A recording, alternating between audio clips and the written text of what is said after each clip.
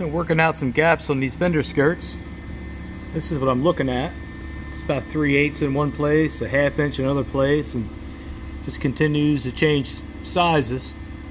So uh, the way I do it, I lay a piece of uh, sheet metal as my new flange for the for the uh, for the fender skirt, and then I weld between the flange and the quarter panel.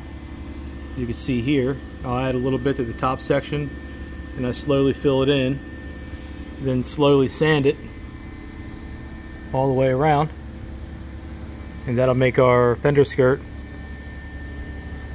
look freaking awesome.